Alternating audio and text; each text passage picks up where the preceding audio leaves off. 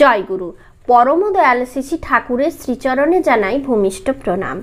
আপনাদের প্রতি প্রত্যেককে জানাই রানন্দিত জয়গুরু।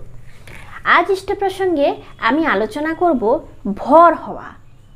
এটা কতটা ঠিক?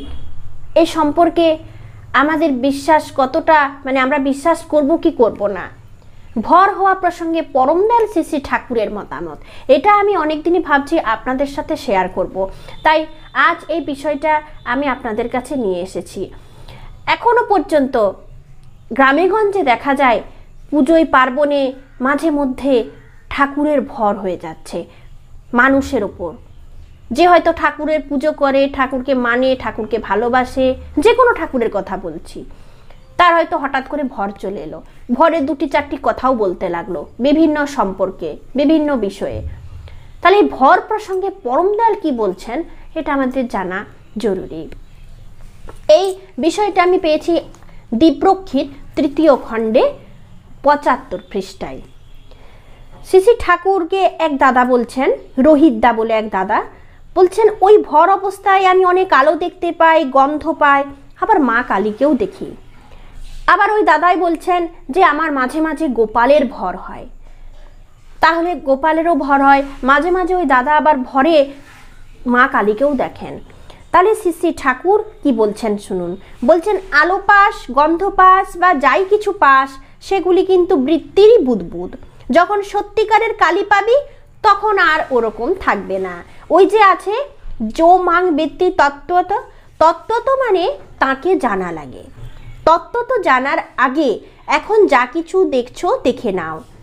কিন্তু তাতে ঢলে পড়ো না। হয়তো দেখলে কেষ্ট ঠাকুর এসে বাঁশি বাজাচ্ছে। সেটা তোমারই বৃত্তির সঞ্চালন। এই যে অনেকে সস্তয়ন করে, তান্ত্রিক সাধনা করে, তাতে কত রকম আবির্ভাব হয়? ওই সব প্রবৃত্তির নানা রকম খেলা।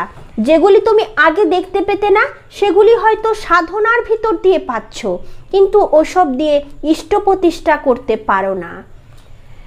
ওসব পথের ঢেলা। আসল জিনিস তো তোমার আরও আগে। ওই যে রামকৃষ্ণ ঠাকুরের কথা আছে, রাস্তায় এগিয়ে যাচ্ছে, প্রথমে পেল তামার খনি, তারপর রূপোর খনি, তারপর সোনার খনি, তারপর হীরের খনি মনির খনি ইত্যাদি। এরকম আরও এগিয়ে যাও তুমি।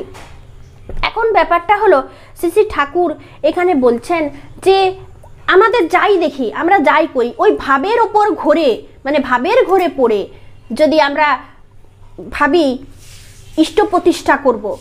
আমাদের ওই ভাবের মধ্য দিয়ে আমরা কিছু প্রতিষ্ঠা করবার চেষ্টা করব, তা কিন্তু হয় না। যা চোখে আসছে তাই দেখতে হবে। অনেক সময় সাধনা, অনেক করার ফলে এরকম আসতেও পারে। তাই ওই ভাবের ঘোরে আমাদের ধুলে পড়লে চলবে না। আমাদের কাজ হলো ওইটুকু। ওই একটাই কথা যেটা আমি আলোচনা প্রসঙ্গে দ্বীপ্রকৃতি ঠাকুরের প্রত্যেকটা কথাতে পড়ি আর আপনাদের সাথে প্রত্যেকভাবে শেয়ার করি, সেটা হলো ইষ্ট প্রতিষ্ঠা করা। আর সেটা শ্রী শ্রী ঠাকুরকে ধরেই একমাত্র করা যেতে পারে। তাই ভর হওয়া প্রসঙ্গে পরম দয়ালের দেওয়া এই মতামতটা আমি আপনাদের পড়েই শোনালাম আর আপনারাও নিজেদের ভেতর শেয়ার করবেন। আজকের ইষ্ট প্রসঙ্গ এখানেই শেষ করছি। ভালো থাকুন। জয় গুরু।